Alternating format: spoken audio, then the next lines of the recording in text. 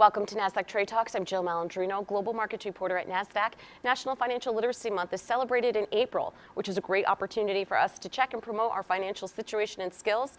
Joining us for this segment, we have Caleb Silver, editor in chief at Investopedia. And for this segment, we are going to discuss investing for all ages. And Caleb, this is one of my favorite topics to cover investing by life stage it's different for each one, isn't it? Absolutely, and it's a lifelong journey. If you're going to be an investor, prepare to do it for the rest of your life, and you can learn so much. But you have to think about where you are in life and your time horizon. So everyone always talks about, well, you want to invest for retirement, not necessarily, but you might have goals, and you don't necessarily want to save and invest all your money now if you want to enjoy life. I love this cartoon that asks, why do I have to keep putting the money, the hard-earned money I make, away for retirement, which is years and years away. Well, you can do both, but you have to know your time horizon and you have to know what you're getting into when you start investing. Let's talk about the 20s and 30s. I mean, certainly time is on your side. Yeah, time is on your side, and time is your best friend when it comes to investing because you can take advantage of compound returns. You want to be aggressive when you're young. You want to buy stocks, you want to buy growth stocks, those that have long-term growth potential, but make sure they're good. Blue chip stocks that have good financials,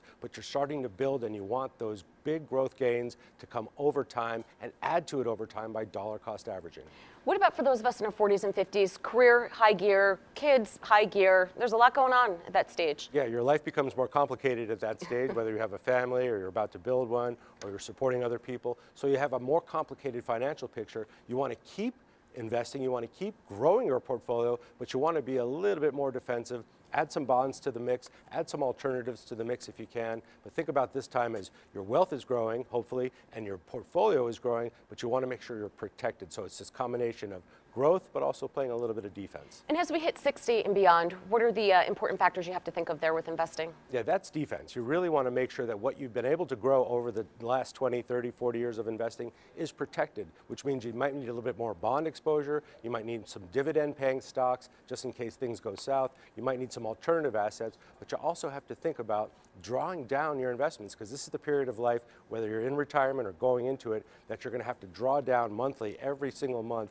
and you want to make sure you have a portfolio that allows you to do that and the tax implications don't hurt you when you do so. All right, Caleb. Appreciate the insight as always. Thanks for joining us on Trade Talks. I'm Jill Malandrino, Global Markets Reporter at NASDAQ.